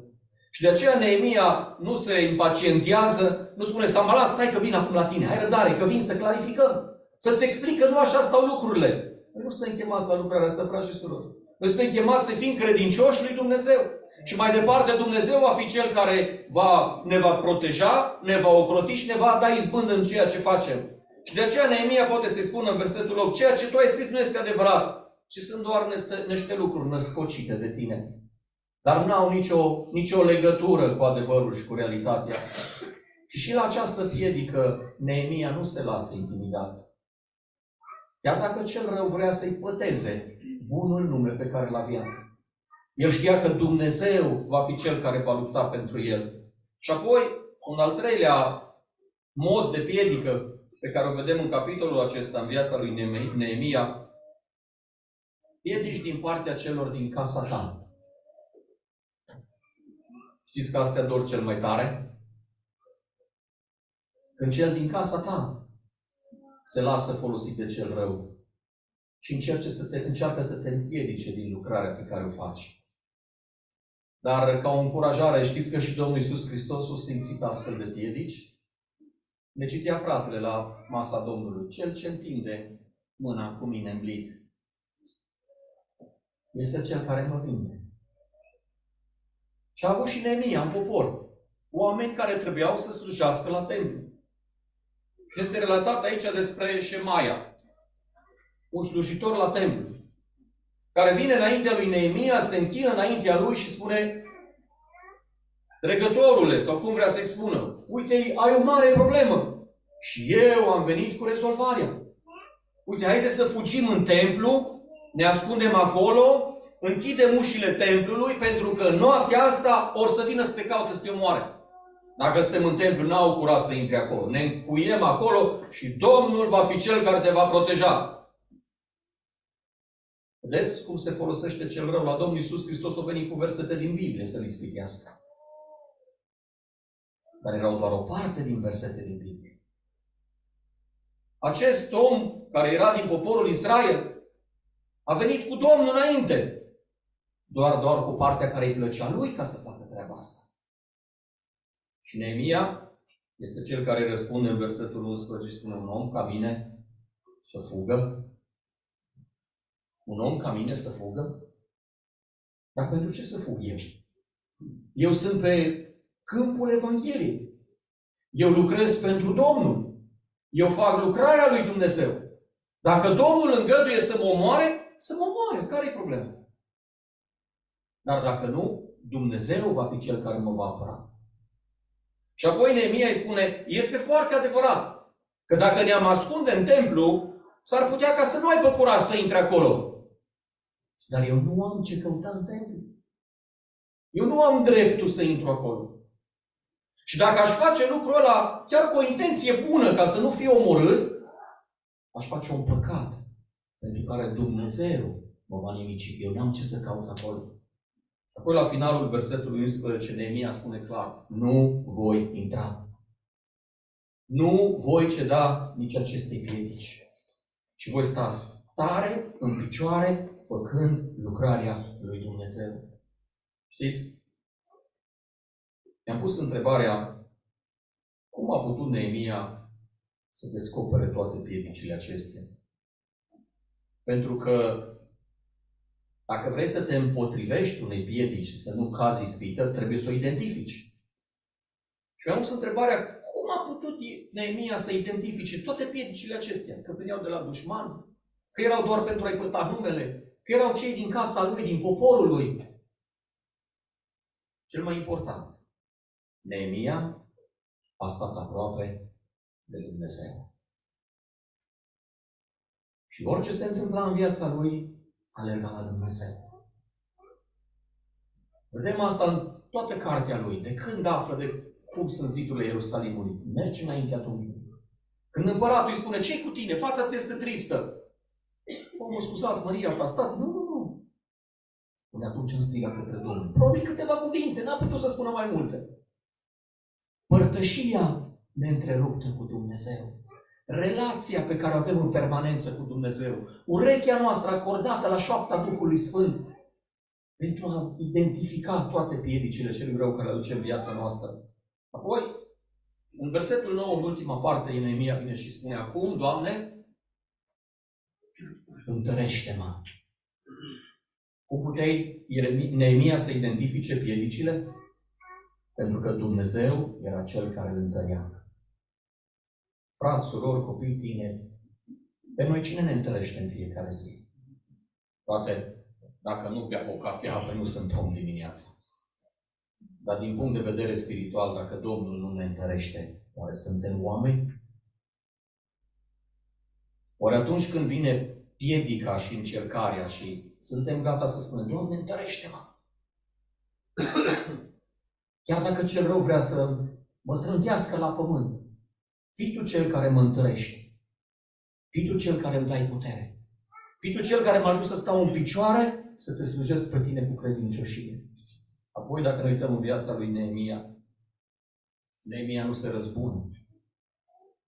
N-avea instinctul ăsta dezvoltat în el. Câte eu mai făcut Obia? Câte eu mai făcut Sambalat? Câte i-au mai făcut cei din poporul lui? Dar nu s-a răzbunat. Și în versetul 14 spune, Doamne, adus Tu aminte de ei. Adus Tu aminte cât rău mi-a făcut. Și știi Tu ce ai de făcut, nu trebuie să-ți spun eu. Nemia nu avea un astfel de spirit dezvoltat. El avea spiritul dezvoltat de a-L asculta pe Domnul. De a-L auzi pe Domnul. Și de a se împotrivi piedicilor care le întindea satana în calea lui. Apoi, cum, pe ce putem să ne bazăm că putem să descoperim toate piedicile, să ne potrivim? Dumnezeu ne spune că nu ne-a ajuns, nu ne-a ajuns nicio piedică, permiteți-mi să spun în contextul predicii de astăzi, mai mare decât puterile noastre. Și Domnul ne dă putere în momentul în care cel rău aduce piedica pentru piedica respectivă. Care este rezultatul împotrivirii lui Neemia? Versetul 15. Zidul a fost isprăvit. Lucrarea pe care trebuia să o facă a ajuns la capăt. Și versetul 16. Toți au cunoscut, toate popoarele din jur, că lucrarea s-a făcut prin voia lui Dumnezeu slăvit să fie Domnul. Frați și surori, piedici am avut pe cale, piedici avem, piedici vor veni. Dar cu Domnul vom putea fi biruitori slăvit să fie Domnul. Și frați și surori, dacă rămâne credincioși lui Dumnezeu, știți când se va isprăvi și zidul nostru? Când vom pleca de pe pământul acesta. Haideți să rugăm cu credincioșie. Haideți să fim credincioși lui Dumnezeu pentru că El este credincios față de noi. El este bun față de noi. Și El este Cel care ne va da putere. Și Domnul să ne ajute să rămânem credincioși până vom pleca de pe pământul acesta. Amin. Amin.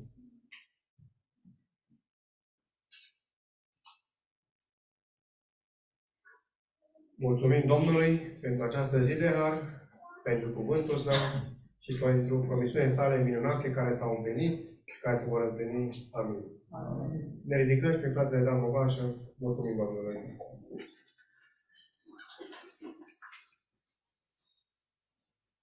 Tatăl nostru cel Ceresc, la sfârșitul acestui timp, venim să-ți mulțumim pentru că ne-ai dăruit ziua aceasta ca să putem fi adunat cu jurul persoanei tale. Mulțumim că ziua aceea săptămână este ziua învierii Domnului nostru și Mântuitorul nostru de cei morți. În această zi ne bucurăm și ne amintim de lucrul acesta.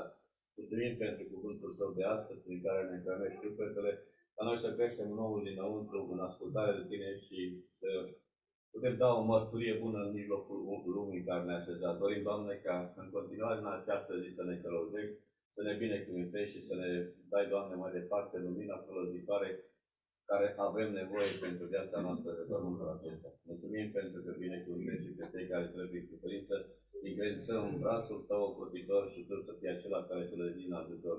Mulțumim pentru tot ceea ce ne vei da în continuare, faza și ajutorul Tău și ne vei pregăti pentru ziua aceea când Domnul va veni ca să pe pământul acesta ca să ne transporte în veșnicia fără de sfârșit împreună cu tine. Lăudăm și binecuvântăm numele Tău și îți aduce slavă că îți meriți în numele Domnului Iisus Hristos. Amin. Amin. Amin. Cu ajutorul Domnului ne vom vedea după masă la ora 5, iar cei care sunt la catecheză, la 3 jumate se vor întâlni la catecheză. Rămâneți cu Domnul, adunarea este liberă.